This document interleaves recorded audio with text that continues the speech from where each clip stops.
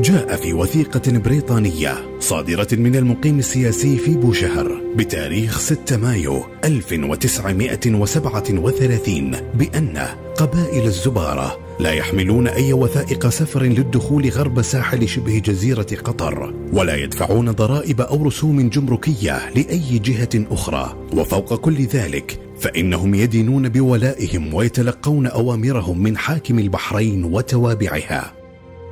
وعلى الرغم من ذلك فإن أصحاب الشركات النفطية الذين حصلوا على حقوق نفط الساحل الشرقي لشبه جزيرة قطر والمرتبطون بهذه المصالح النفطية كانوا يرون أن المطالبة البحرينية بالزبارة يجب ألا تتكلل بالنجاح. وكان من الواضح أن استمرار استفادة شركة الامتيازات البترولية المحدودة البريطانية من النفط القطري كان مرتبطا بمسألة حسم تبعية الزبارة لضمان استمرار مصالحهم النفطية في كامل شبه جزيرة قطر وتضيف الوثائق.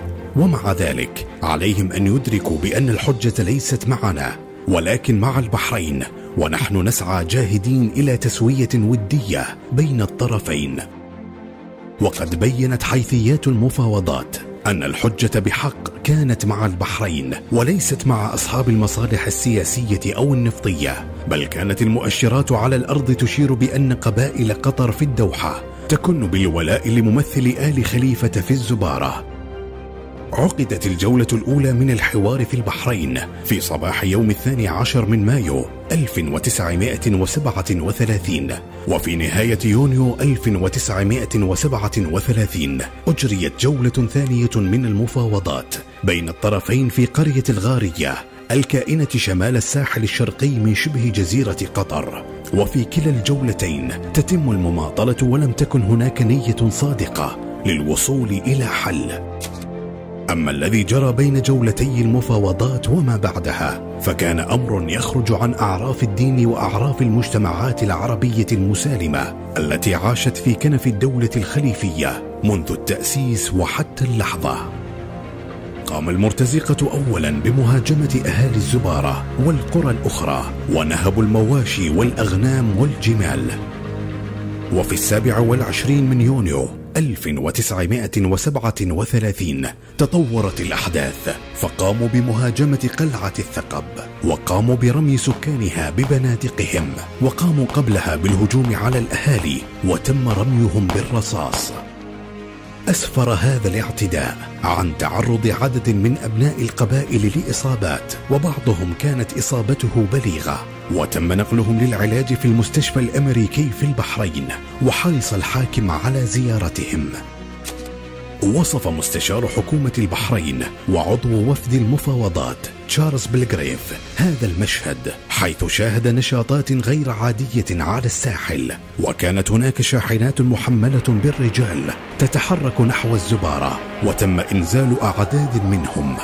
اندلع القتال بعد ذلك وتبين أن رجال قبيلة النعيم من أهالي الزبارة قد تعرضوا للهجوم.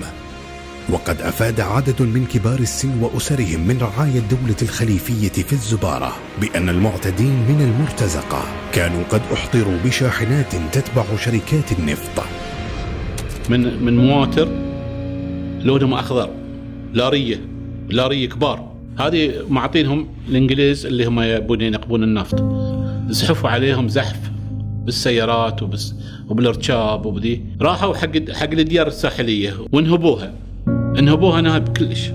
وخذوا الدبش الغنم وخذوا الشاب الموجود. كل شيء يلقونه قدام يأخذونه. انهبوا الدير نهاب ما خلوا شيء.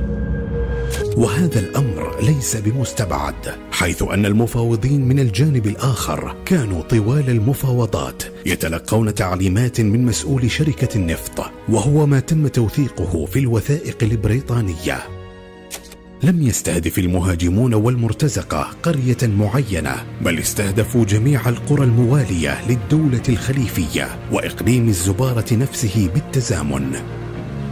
وفي ظهر اليوم الأول من يوليو 1937 اقترب المرتزقة من قرية لشا فسارع الرجال بالاستعداد للمعركة مع أبناء قبيلة النعيم الذين احتشدوا أيضا للدفاع عن أرضهم. وبدأت المعركة بإطلاق نار كثيف. ومواجهة حامية بين الطرفين ليتراجع المرتزقة إلى الشرق رغم قوة تسليحهم. ووجد رجال النعيم عددا من الجرحى تم نقلهم إلى لشا للعلاج واستشهد بعضهم في المعركة.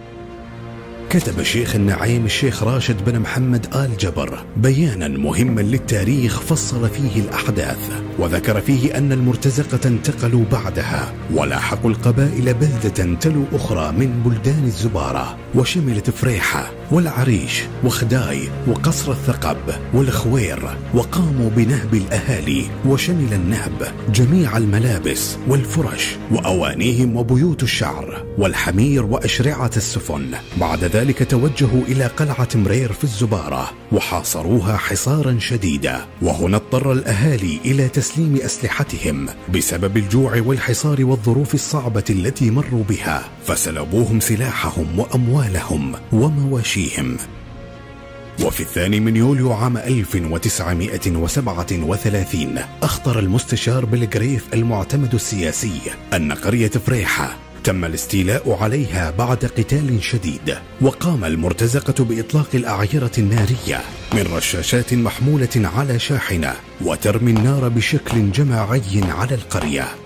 وهكذا استمر الهجوم على مختلف المناطق التابعة للحكم الخليفي في شبه جزيرة قطر وهدمت بيوتهم ومساجدهم وقلاعهم واستشهد وشرد المئات من أهلها وهجر الآخرون قسرا. وتلك قصص أخرى قد يرويها شهود العيان في حلقات أخرى.